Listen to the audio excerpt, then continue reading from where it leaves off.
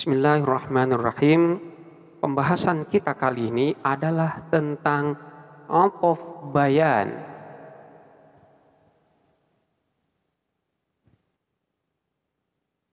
Terdapat banyak definisi tentang of bayan ini.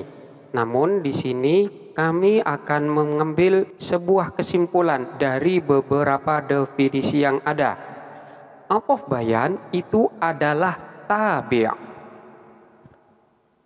atau kalimat isim yang ikut kepada kalimat sebelumnya yang mana keberadaan tabi di sini berfungsi sebagai penjelas atau juga berfungsi sebagai pengkhusus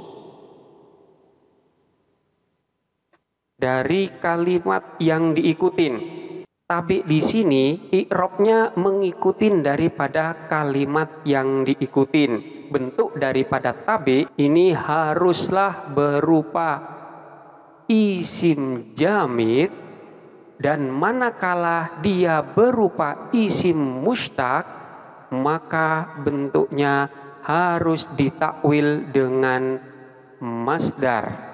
Jadi tidak boleh berupa isim mustaq jadi tidak boleh berupa isim fa'il, isim maf'ul dan lain sebagainya. Harus berupa isim jamid. Manakala tabi di sana berupa isim mustaq, maka dia harus ditakwil dengan masdar. Kita ambil contoh seperti lafat jaa Khalidun ahuka.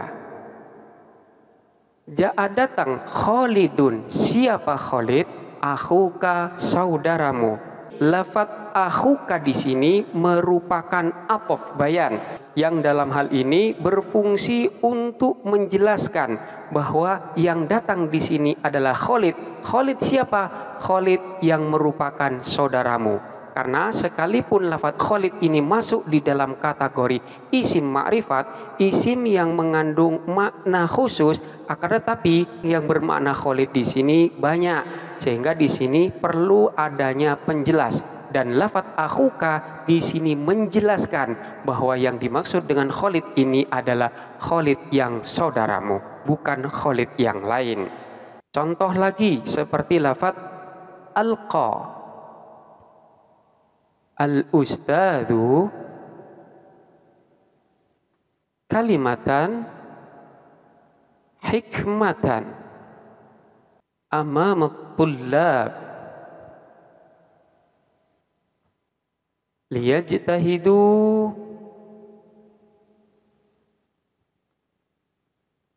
fi dirasatihim Alko menyampaikan al ustadu siapa ustad kalimatan kepada kalimah. Hikmatan hikmah. Amamatulab di depan para siswa. Liyajtahidu agar bersungguh-sungguh siapa mereka fi dirasatihim pada pelajaran mereka. Kita perhatikan lafat kalimatan dan hikmatan Kalimat hikmatan di sini merupakan out of bayan yang dalam hal ini berfungsi untuk menjelaskan terhadap kalimat yang diikuti yaitu lafat kalimat. Ketika di sini dikatakan alqa al ustadu kalimatan, ustadz menyampaikan kalimat, maka yang dimaksud dengan kalimat di sini adalah kalimat yang berupa hikmah karena yang namanya kalimat ini banyak. Bisa jadi dia itu adalah merupakan kalimat-kalimat yang bersifat teguran atau kalimat-kalimat yang di sana mengandung kemarahan dan lain sebagainya. Tetapi yang dimaksud dengan kalimat di sini adalah kalimat yang mengandung hikmah. Sehingga kata-kata hikmah ini lebih khusus, lebih spesifik daripada lafaz kalimah. Jadi kedudukan daripada apof bayan di sini berfungsi untuk mengkhususkan bahwa yang dimaksud dengan kalimat di sini adalah kalimat hikmah. Ini adalah beberapa makna atau beberapa definisi daripada apof bayan. Selanjutnya kita lebih perdalam lagi tentang fungsi-fungsi daripada apof bayan Yang pertama, bahwa atof bayan di sini memiliki fungsi sebagai penjelas. Sebagaimana tadi di awal telah diberi contoh. Sekarang kita akan lebih memperdalam dengan memberikan contoh yang lain seperti lafat jaa Abu Hafsah Umar Jaa datang Abu Hafsah. Siapa Abu Hafsah? Umaru Umar. Lafat Umar ini merupakan atof bayan. Dalam hal ini Umar di sini merupakan penjelas daripada lafat Abu Hafsah. Di antara beberapa orang lebih mengenal nama Umar daripada lafat Abu Hafsah karena memang Abu Hafsah ini merupakan nama gelar atau nama julukan daripada Umar sehingga keberadaan daripada Umar ini merupakan penjelas daripada lafat Abu Hafsah Contoh yang lain seperti lafat marortu bil mujtahid Khalidin. Marortu lewat siapa saya bil mujtahidi bertemu dengan orang atau anak yang bersungguh-sungguh Khalidin Khalid. Kata-kata Khalid ini merupakan penjelas atau kalimat yang berfungsi untuk menjelaskan dari kalimat yang diikutin. Kalimat yang diikutin adalah kata-kata al-mujtahid, orang yang bersungguh-sungguh. Kata-kata al-mujtahid ini sifatnya masih lebih umum. Siapa yang dimaksud dengan orang yang bersungguh-sungguh ini? Maksudnya diperjelas dengan kata-kata Khalid jadi Khalid ini sifatnya sebagai penjelas yang berkedudukan sebagai atof bayan. Ini adalah fungsi yang pertama dari atof bayan yaitu sebagai penjelas. Kemudian fungsi yang kedua ini sebagai pengkhusus. Hal ini berlaku manakala matbuknya atau kalimat yang diikuti ini berupa isim nakiro. Jadi sekali lagi fungsi yang kedua daripada atof bayan itu adalah sebagai pengkhusus. Hal ini berlaku manakala matbu'nya ini berupa isim nakiro. Contohnya seperti lafat sami'tu kalimatan khutbatan yaumal jum'ah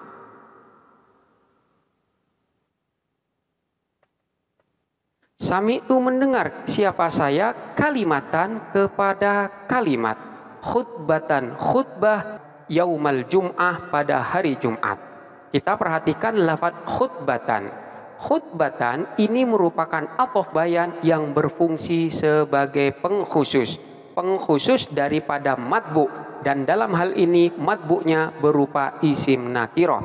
Ketika kita mengatakan bahwa sami itu kalimatan, saya mendengar kalimat, maka kata-kata kalimat ini masih umum. Kalimat yang bagaimana? Kemudian keberadaan daripada khutbah di sini untuk memberikan pengkhususan bahwa yang dimaksud dengan kalimat di sini adalah kalimat khutbah karena kalimat ini bisa banyak, bisa kalimat sambutan, bisa kalimat ancaman dan lain sebagainya. Ketika diberi kata-kata khutbah, maka ini menjadi kata pengkhusus daripada kalimat yang diikutin. Kemudian contoh yang lain seperti lafat au kafaratun ta'amu miskin au kafaratun atau membayar kafaroh. To'amu miskinin memberi makan orang miskin Kata-kata to'amu miskin ini merupakan atof bayan yang berfungsi untuk pengkhusus daripada kata-kata kafaroh. Karena yang namanya kafaroh itu bisa macam-macam. Bisa kafaroh dengan memerdekakan budak, bisa juga kafaroh dengan berpuasa dua bulan berturut-turut, dan bisa juga dengan memberi makan orang miskin. Maka dalam susunan ini kata-kata to'amu miskin itu memberikan pengertian bahwa yang dimaksud dengan kafaroh di sini adalah kafaroh memberi makan orang miskin.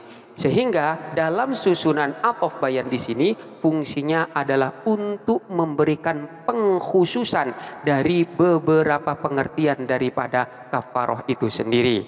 Inilah fungsi-fungsi daripada atof bayan di mana atau bayan itu ada kalanya berfungsi sebagai penjelas dan ada kalanya berfungsi sebagai pengkhusus.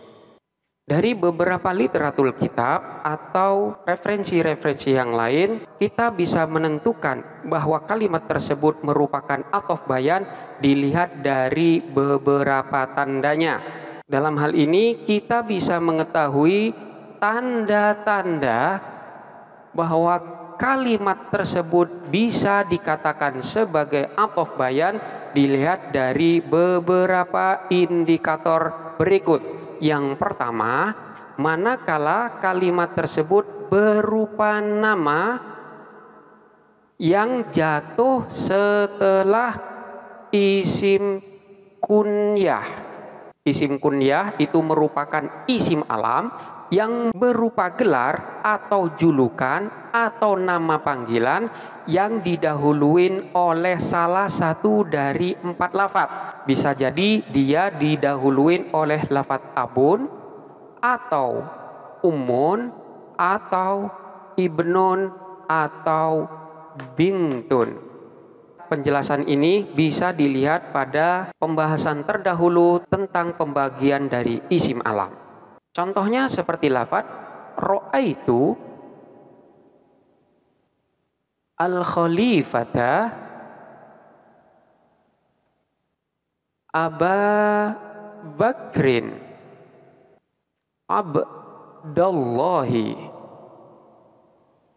Itu melihat siapa saya? Al-khalifata khalifah Aba Bakrin Abdallahi Abdullah. Kita perhatikan lafat Abdullah Lafat Abdullah di sini merupakan atof bayan karena memang lafat Abdullah ini merupakan nama dan dia jatuh setelah kunyah. Dalam hal ini kunyahnya berupa lafat Aba Bakrin karena lafat Aba Bakrin ini merupakan nama gelar atau julukan atau nama panggilan yang didahului oleh salah satu dari empat lafat ini.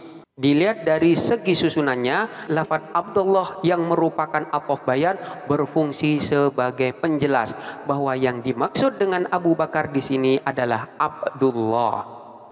Selanjutnya indikator yang kedua atau tanda yang kedua dari atof bayan adalah lafaz tersebut berupa nama yang jatuh setelah isim alam lekop Isim alam lakob itu hampir sama dengan isim alam kunyah.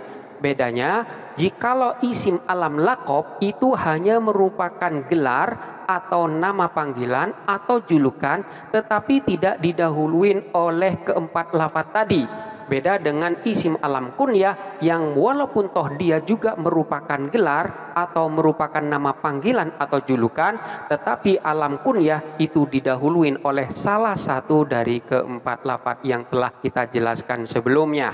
Contoh daripada atof bayan yang merupakan nama dan dia jatuh setelah isim alam lakob seperti lafat ni'ma al-khalifatu Ar-Rashid. Harun. Ni'mal khalifatu sebaik-baiknya khalifah Ar-Rashidu Rashid Harunu Harun. Lafat Harun ini merupakan nama dan dia jatuh setelah gelar Ar-Rashid jadi Ar-Rasyid ini merupakan gelar daripada Harun. Sehingga sering kali kita mendengar nama Harun Ar-Rasyid. Padahal sesungguhnya Ar-Rasyid itu merupakan gelar daripada Harun. Lafat Harun ini merupakan atof bayan daripada Ar-Rasyid yang fungsinya sama dengan yang pertama tadi yaitu sebagai penegas bahwa yang dimaksud dengan Ar-Rasyid di sini adalah Harun.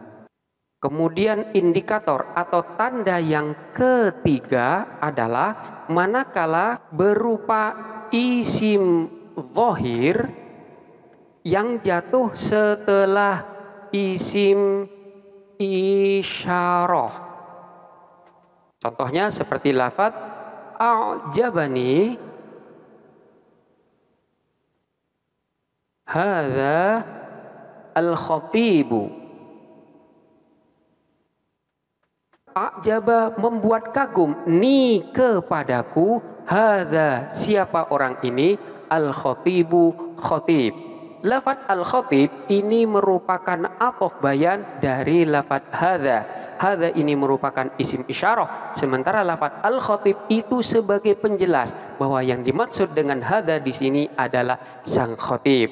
Aku kagum terhadap orang ini. Maksud daripada orang ini adalah al khatib sang khatib di sini dilihat dari segi fungsinya bahwa al-khatib di sini sebagai atof bayan berfungsi sebagai penjelas dari kalimat yang diikutin yaitu isim isyarah hadza.